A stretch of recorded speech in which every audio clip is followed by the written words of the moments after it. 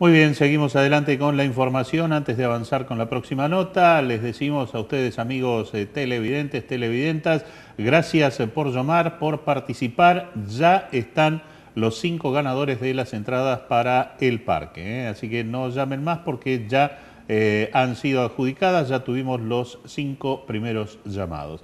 La información nos ubica en la celebración del 25 de mayo y desde el aspecto culinario porque si hay un plato típico cada 25 de mayo aquí en la Argentina, ese es el locro. Y obviamente quisimos eh, saber cómo se prepara precisamente en la cocina del ejército y después eh, que se va repartiendo eh, con las diferentes cocinas móviles, los ranchos móviles en diferentes lugares donde se ubican precisamente esta tradicional comida argentina, el locro.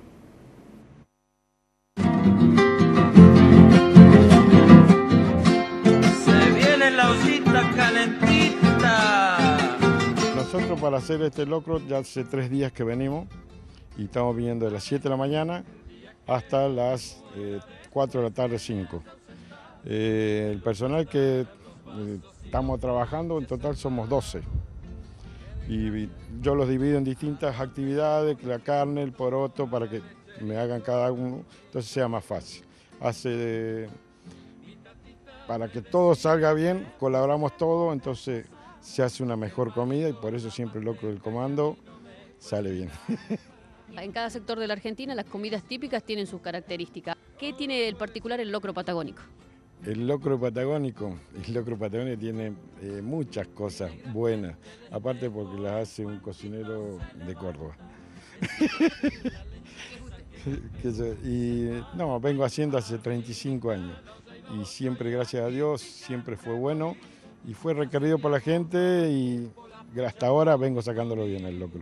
Aparte uno lo hace con amor, con cariño y todo hay que hacerlo bien, porque si no, nunca va a tener un éxito como lo que está teniendo.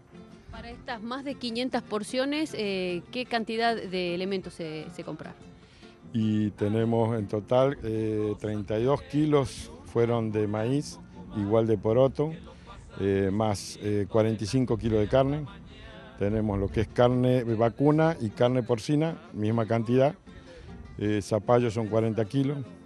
Eh, bueno, panceta, lleva cebolla, morrones, cebolla verdeo. Y yo siempre tengo un ingrediente que es secreto mío. El tiempo de cocción yo empiezo a cocinar a las 5 de la mañana, cosa que para las 12 del mediodía ya el locro esté a punto.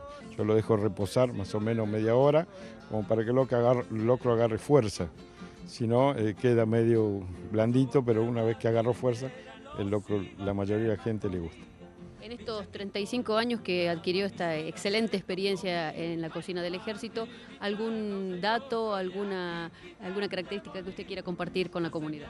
Lo que uno vivió, todas las experiencias, yo estuve también para las inundaciones de acá de Comodoro, que se cocinó para más de 5.000 personas.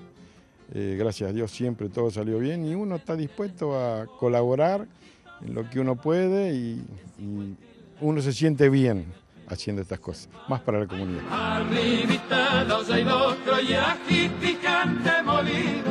ya se me o el pupo, la pucha como y Se va la otra.